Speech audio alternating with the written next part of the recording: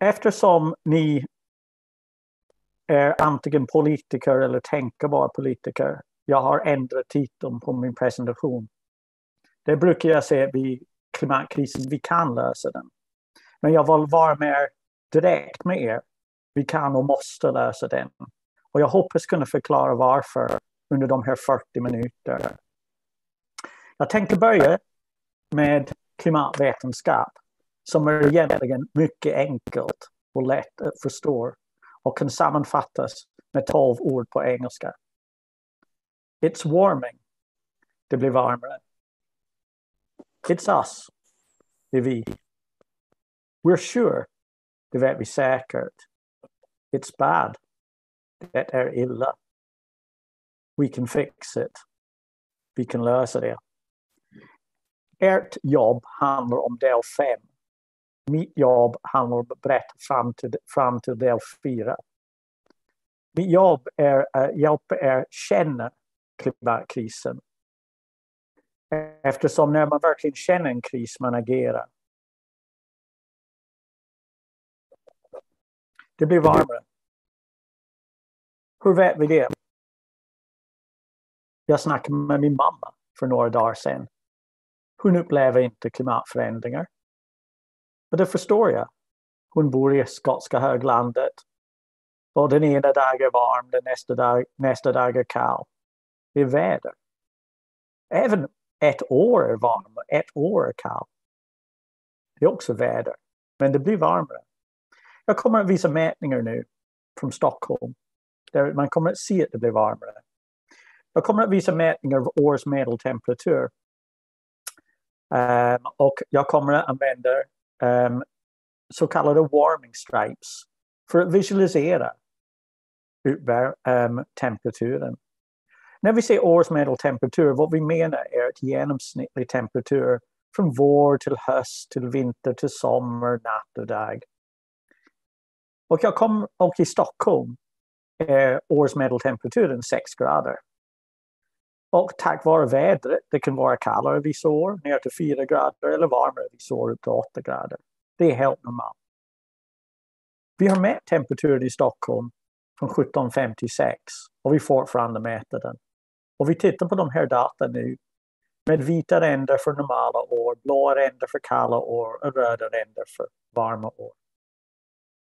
Och det ni ser när ni ser på visualiseringen är att den alternerar från varma till kalla år.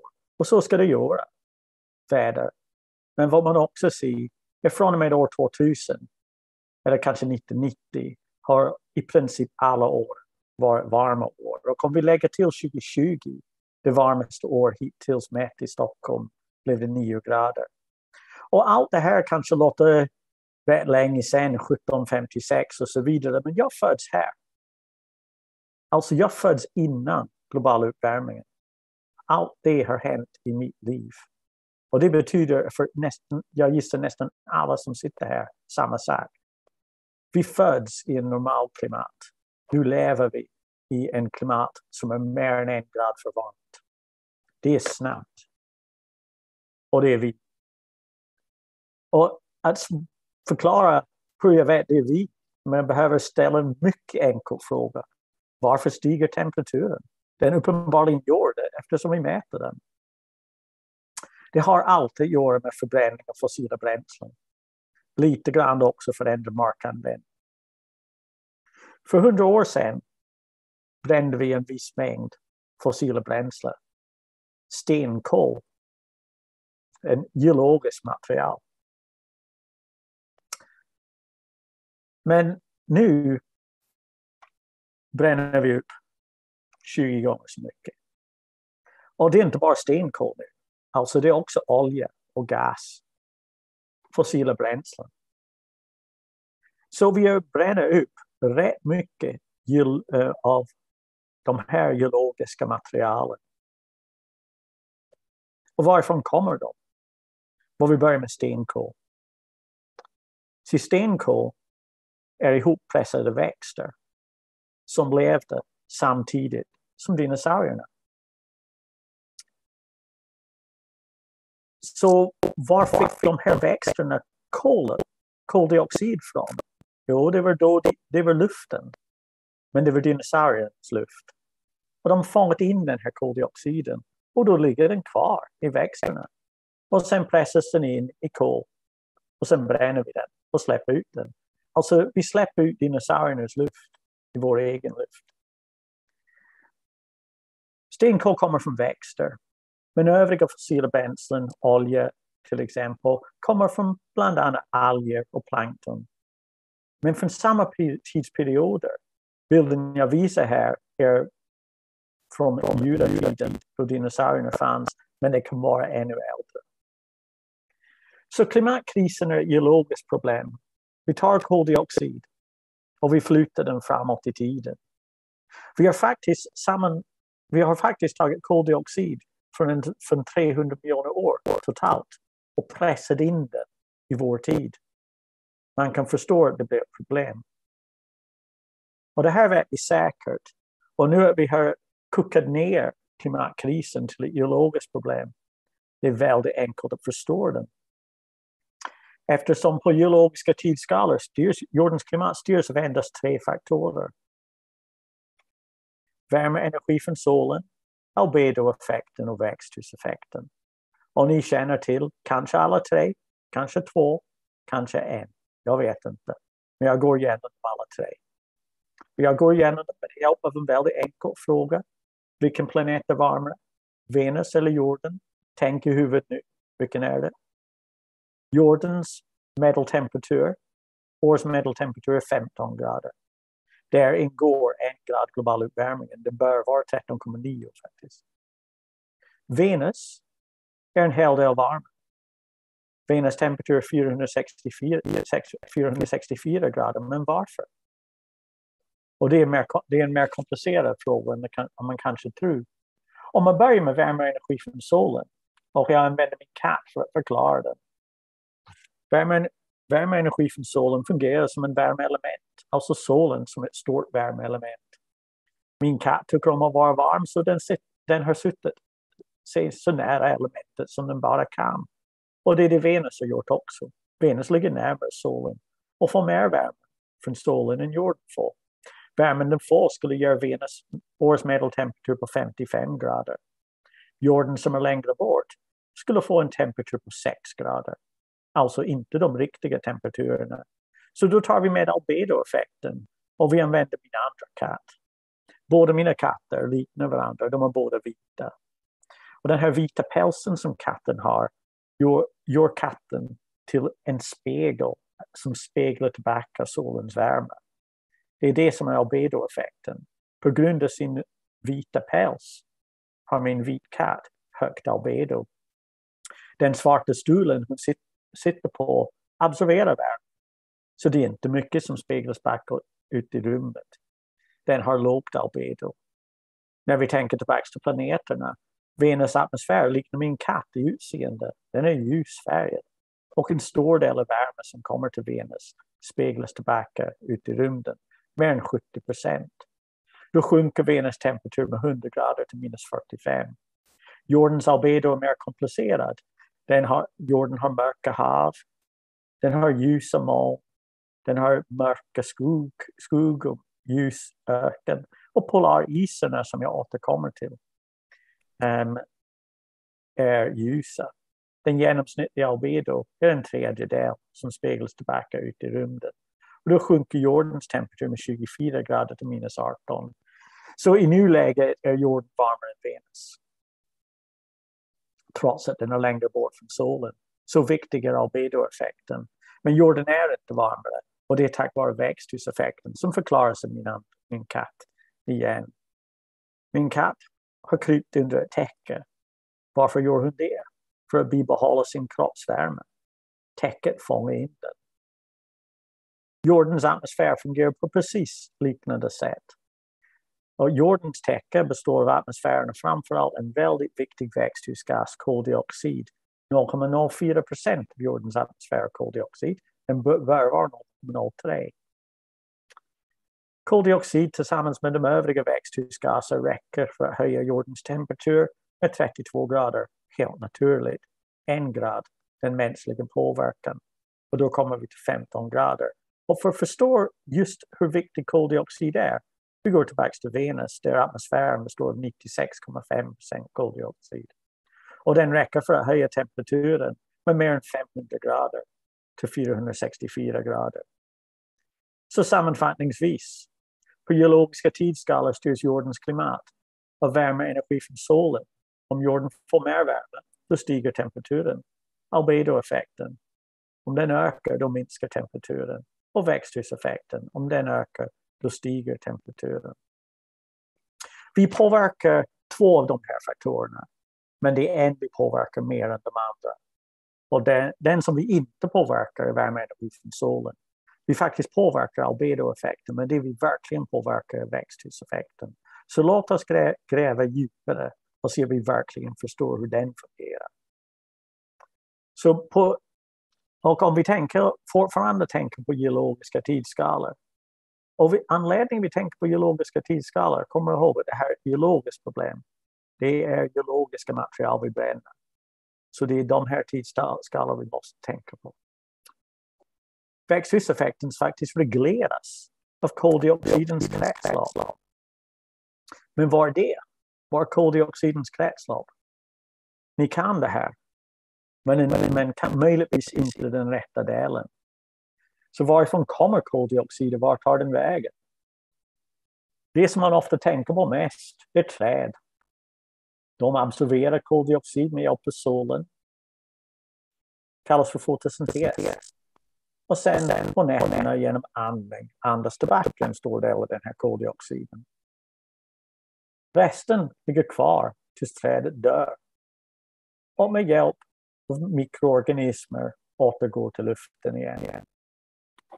Fotosyntes, då talar vi om ett du. För ett träd att leva och dö, då kan vi prata om många år. Det här är koldioxidens snabba kretslopp och det är inte det som är viktigt. Den behöver vi inte tänka på mer. Så jag ställer frågan igen. Varifrån kommer koldioxid? Så egentligen koldioxid, eftersom vi påverkar geologi genom att bränna stenar, du måste tänka var kommer koldioxid egentligen på geologiska tidsskalor? Koldioxid kommer från vulkaner och ingen annanstans.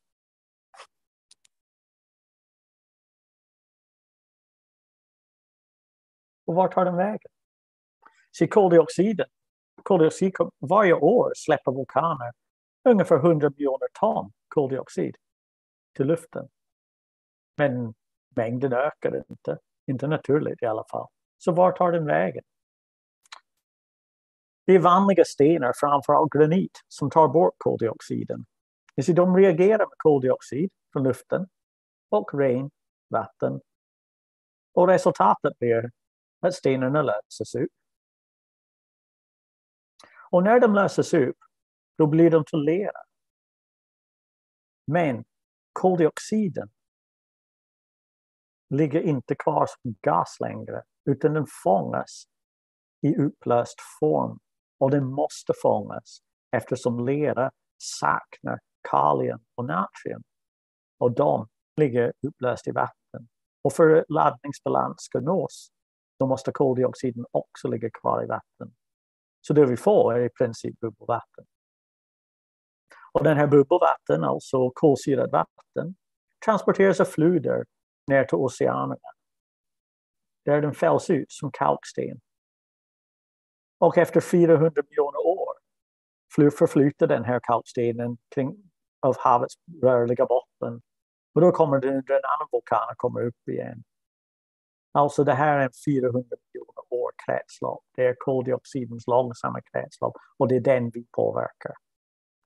Och vi ska tänka, om vi väntar på naturliga lösningar till, vår, till det vi gör, vi får vänta de här långa geologiska tiderna. Och det här är ett hur briljant system som helst. Växthuseffekten regleras av koldioxidens långsamma kretslopp. Låt oss tänka att ta, eh, på grund av naturliga anledningar, alltså kontinental drift. Um, man kommer till ett läge att jordens temperatur ökar. Det kan vara vad som helst. Kontinenter ligger vid ekvatorn eller mer vulkaner eller någonting sånt. Jordens temperatur ökar. Men den här upplösningen av stenar, upplösningen av granit, den kommer att ske snabbare. Eftersom alla, en kemisk reaktion, alla kemiska reaktioner är snabba när det är varmt. Och när den löses upp, då fångas, fångas koldioxid. Så mängden koldioxid i atmosfären minskar. Men den är en växthusgas, så växthuseffekten blir svagare. Och den i sin tur leder till att jordens temperatur minskar. Och om jordens temperatur minskar, stenar kommer att lösas upp långsammare eftersom de är temperaturdrivna. Och då kommer den här koldioxid som kommer från vulkaner ligga kvar i luften och mängden koldioxid ökar. Som gör att växthuseffekten blir starkare. Som gör att jordens temperatur ökar.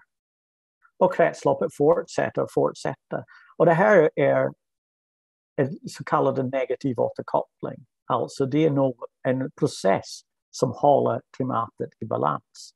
Motsatsen till det här kallas för en tipppunkt och jag ska förklara vad en av dem är om en stund. Så problemet är nu släpper vi ut för mycket koldioxid för snabbt. Genom att förbränna fossila bränslen kommer jag förklara det här genom att släppa ut tusen molekyler i tio sekunder. Och vad menar jag med för snabbt? Well, det här koldioxid kommer från stenar, det är stenar som får ta bort den. I samma tidsintervall kan stenarna ta hand om en av de här tusen molekyler, resten, resten ligger kvar i luften. Och då ökar mängden koldioxid i luften och den bara fortsätter öka. Det i sig är livsfarligt eftersom det gör att temperaturen stiger. Men jag förklar, ska förklara lite hur kan det vara ännu mer livsfarligt. Eftersom den kan till viss del öka så den ledas över vissa tröskel i klimatsystemet. Jag illustrerar en. Och då kommer ni behöva komma ihåg hur albedo fungerar. Så läget nu är att vi släpper ut för mycket koldioxid för snabbt. Så mängden koldioxid i atmosfären ökar. Så växthuseffekten blir starkare, alltså vi sätter på värmen. Och jorden blir varm. Men om jorden blir varm, vad kommer att hända till polariser? De kommer att smälta. Nu får vi titta på dem. Vi tittar på Norra ishavet och vi ser hur polaris smälter. Vi tittar nu på polarisen under 32 år, från 1984 till 2016. Um, ehm, det här är en animering där man har beräknat tjocklek på istäcket. Så de vita delarna är de tjockare delarna. Um, ehm, det ser ut som nästan som den andra sidan ut. Det är sommar och vinter. Men det jag vill att ni ser när ni tittar på den här animeringen. Det här är ingen film, alltså det här, de här är riktiga data. Jag vill att ni tänker på vad händer till albedo. Vad händer till jordens albedo?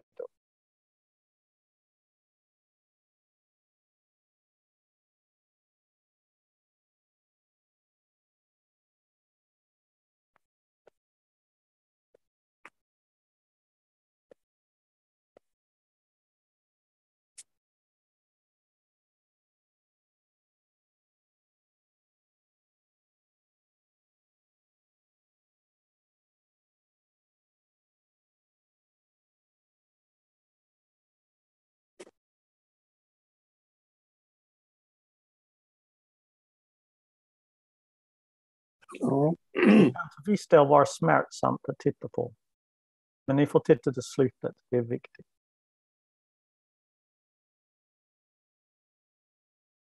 Albedoeffekten minskar. Men vad händer när albedoeffekten minskar? Då kommer jordens temperatur öka ännu mer. Det här är motsatsen till vad stenar gör. När stenar löses upp, det är en negativ återkoppling, den stabiliserar klimatet. Här har vi en process som gör, vi gör en förändring och den här förändringen blir större. Allt större. Det är, kan kallas för en tipppunkt. Och vi har passerat tipppunkten för Arktiska oceanen. Sommarisen kommer att försvinna. Och detta är illa. Men ännu mer farligt är den, långs, är den stegvis ökning av temperaturen. Jag har precis åkt hem från Storbritannien Och jag tänkte visa temperaturkartan den 19 juli. Tack och lov kom jag hem några dagar innan. Så här ser det ut. Eh, de här, det här är ingen prognos, det är faktiska mätningar. 40 grader i centrala England. Högsta temperatur mäts England, i Wales, i Skottland. De högsta temperatur vid nätterna i England, Wales, Skottland. Enligt Chief Meteorological Office, uh, enligt the Met Office Chief Scientist, Scientist Professor Stephen Belcher, the extreme temperatures that we've been experiencing in the UK are unprecedented in recorded history in a climate unaffected by human influence. Sorry, climate modeling shows that it is virtually impossible for temperatures in the UK to reach 40 degrees centigrade. Bara en dag efter kan vi peka finger, fingret på klimatförändringen, på vår påverkan på klimatet. Det här är en väderhändelse. Men det som, när jag tänker hur allvarligt den är, jag tänker mer på de ungdomarna. Och här vill jag läsa en text som skrevs av en ungdom från Filippinerna.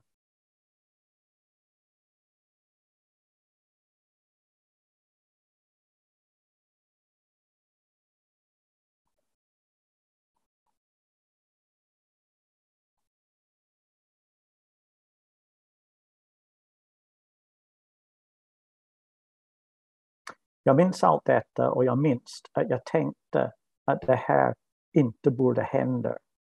Det har hon rätt i. Det här borde inte hända. Klimatkrisen är här och nu. Om ni tar ett budskap för mig, det är den här krisen är nu. Det är ingenting långt i framtiden. Den händer nu. Många av er Många ungdomar, många vuxna lider av klimatångest. Så vad ska du göra? Ett, vet att du inte är ensam. Det är du och alla klimatforskare tillsammans. Dela din oro. Prata med andra. Det är viktigt. Stödja varandra. Det här är en kris. Och bli en del av lösningen. Och det är det som gör mig glad att prata med er. Att ni tänker vara en del av lös i lösningen. Och vad jag tänker sluta den här föreläsningen med är att berätta att vi kan lösa det här. Vi måste, men vi också kan. Och jag tänker prata lite om den här lösningen. Vi kan lösa den. Ni kan börja så här, ni är en liten grupp, men ni, ni är viktiga. Ni är inte så liten. Och tänk vad ungdomarna sa. Att ingen är för liten för att göra skillnad. Tar dessa ord djupt till hjärtat och lyssna på dem. Ni kan faktiskt påverka. Kanske ni blir inte den största parti, men ni kan vara den viktigaste. Okej, okay, vi ska göra skillnad. Då måste vi veta vad det är vi kämpar emot. Och det är inte temperatur, det är koldioxid. Temperaturen är en effekt. Temperaturstigningen är en effekt av vårt utsläpp. Det vi måste ta itu med är koldioxidutsläpp. Och så här ser det ut. 2019, peak carbon. Vad menar jag med peak carbon? Jag menar året vi släppte ut mest koldioxid. Hur vet jag det var 2019? Jag vet inte, men jag vet att det måste vara. Första uppgiften, se till att vi aldrig, Eh, vi aldrig upprepar 2019 igen. Om 2019 var peak carbon, då var 2020 året efter peak carbon och då, och då rasade utsläppen. 7% minskning. Det var den största minskningen någonsin. Men 2020 var ett annorlunda år.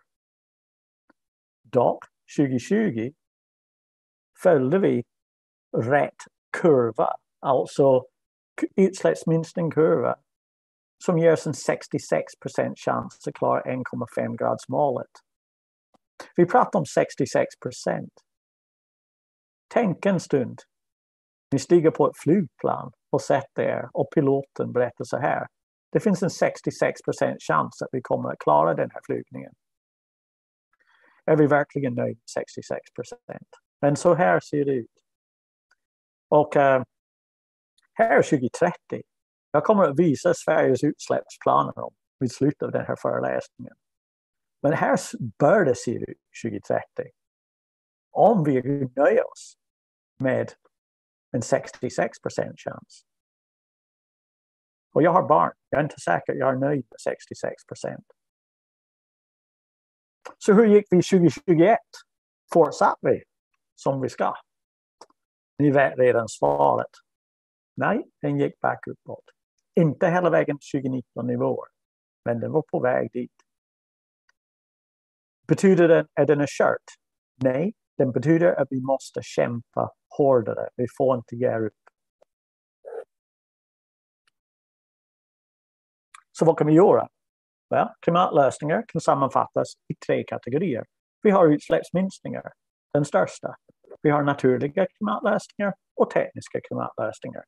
Och tillsammans kan de ta oss till 1,5 gradsmålet. Varför pratar jag om 1,5 gradsmålet? Eftersom det finns ingen 1,4 gradsmål.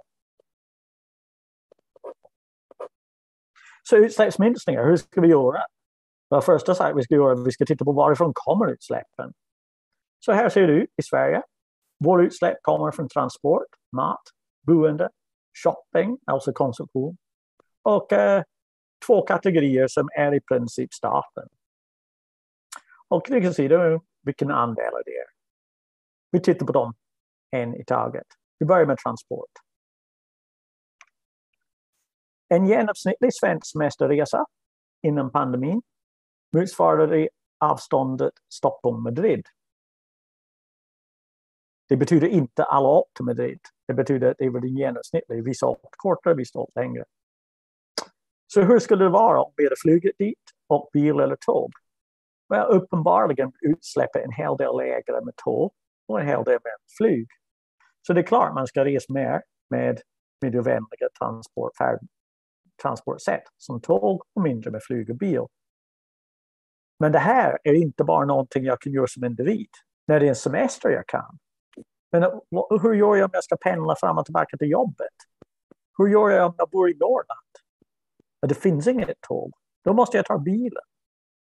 Här, har vi ett, här måste vi samverka mellan individen och beslutsfattare.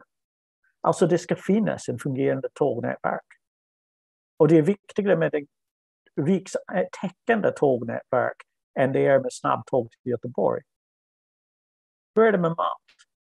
De flesta ungdomar, när de börjar, ta itu, när de börjar känna klimatångest, de tittar på vad de äter.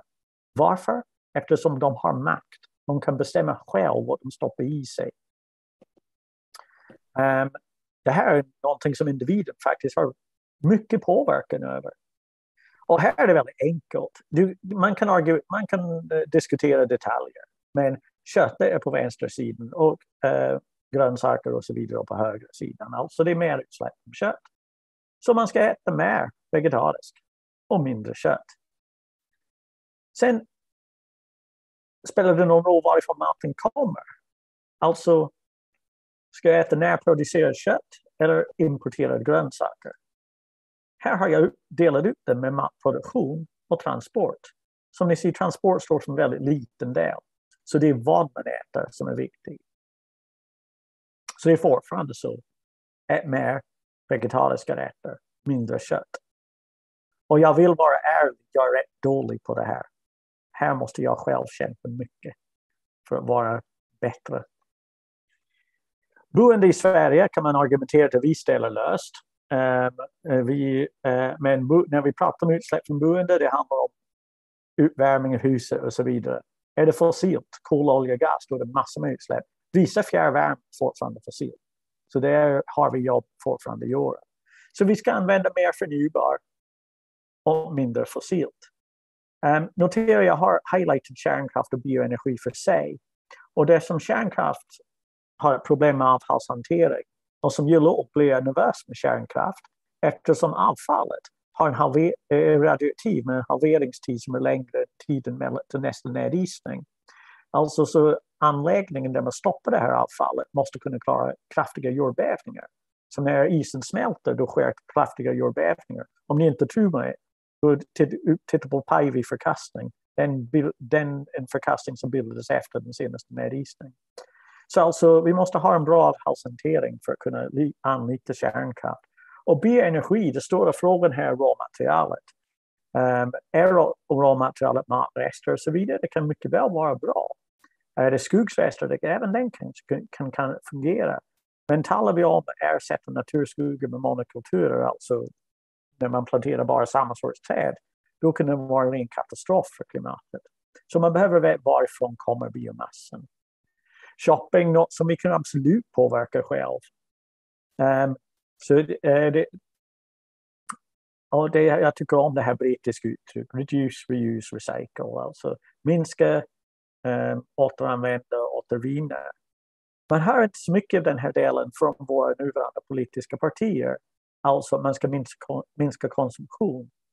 Kan man få röster om man säger så? Det hoppas jag verkligen eftersom vi måste minska konsumtion. Så det är, det är bara en biologisk verklighet. Investeringar i tjänster, alltså staten, det handlar om hela infrastrukturen. Energi som används, betong som används och stål som används. Det har du väldigt liten påverkan som individ, men som politiskt parti kan du absolut bestämma, Eh, börja fatta beslut om betongtillverkning, ståltillverkning. Kommer vi övergå till bättre, snabbare eller långsammare? Eh, vi behöver stål, annars blir det ingen bra transport. En tåg går inte utan ståltågräls till exempel. Naturliga klimatlösningar, det är en mycket mindre del, 20 procent av lösningen. Och då handlar det om skog, framförallt att bevara naturskogar. Uh, men, återplantering också. Och att motverka skogsbränder. Att bruka jord på ett bra sätt. Så att man minskar förbrukningen av gödningsmedel som har i sin tur en hel del utsläpp associerat och så vidare.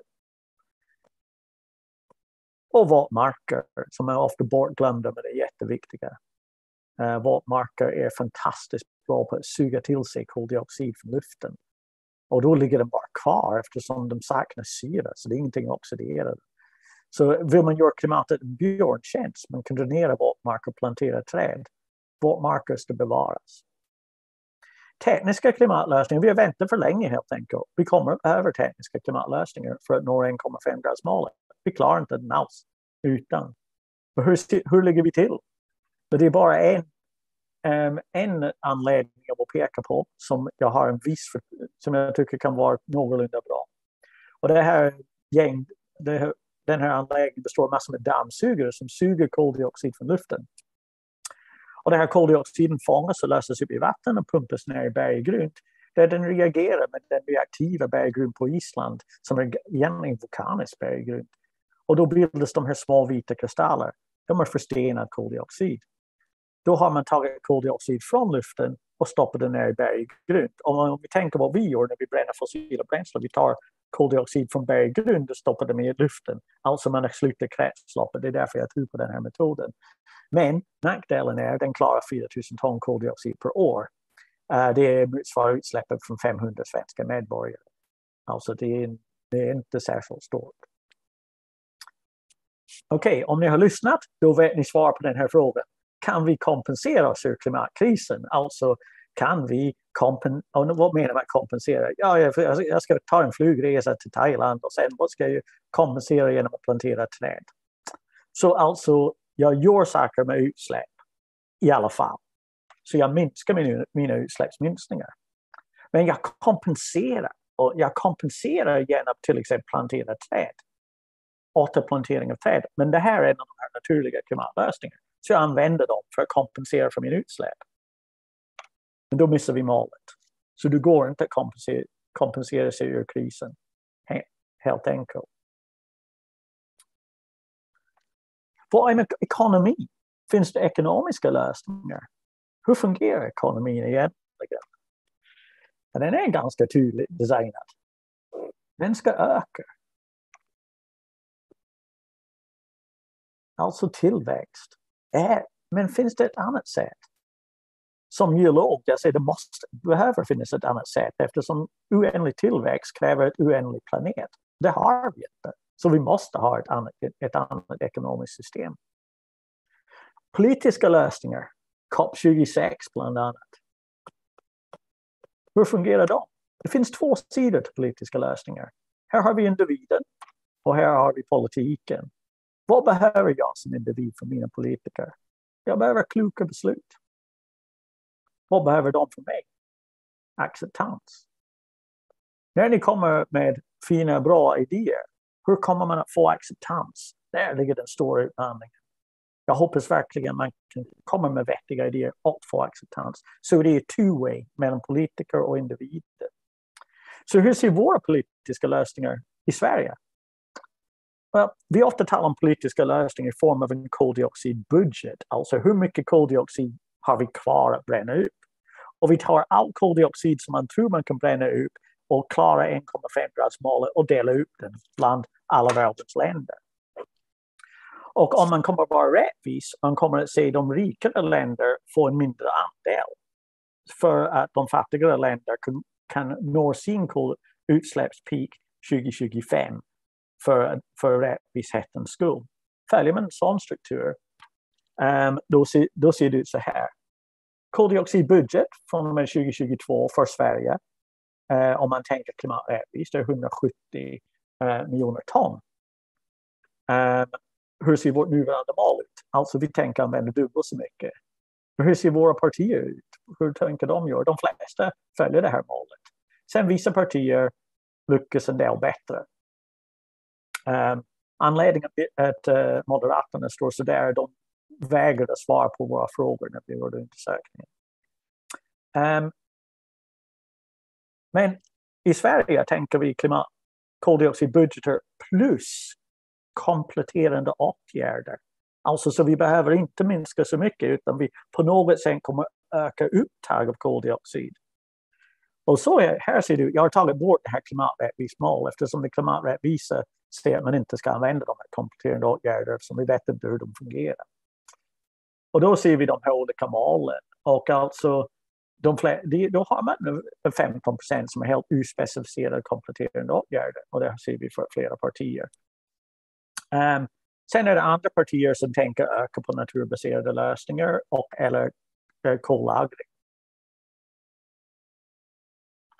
Vi kan också se det här för utsläppsminskning. Hur kommer man att minska de här utsläppen? Och här visas utsläppsminskningar. Uh, det svart, de svarta linjerna är de klimaträttvisa. Och då visar jag både exponentiella och linjära minskningar. Och sen de övriga minskningarna eh, är faktiskt strukturerade utefter de händelser som lär hända i Sverige. Där det blir stora förändringar i våra utsläpp, till exempel när man övergår till vätte för stålproduktion och så vidare. Och så ser ni att våra partier följer lite olika. Sveriges mål är den som är gul. Sen ser vi vissa partier göra en del bättre.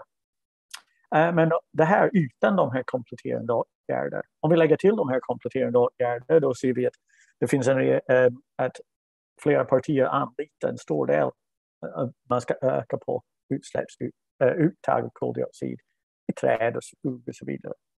Kan vara bra. Jag vet inte. Det som verkligen behövs här och är jättesvårt och är ingen politisk lösning men en mänsklig lösning där vi måste tänka på ett annat sätt.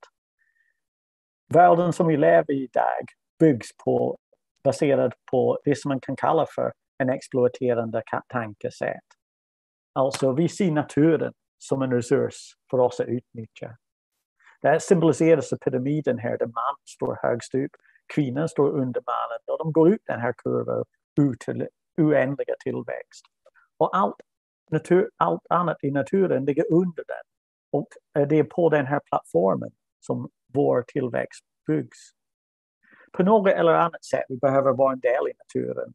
Alltså så precis samma som vulkaner och stenar ger och tar koldioxid. Vi måste göra samma sak med, med vår relation till naturen.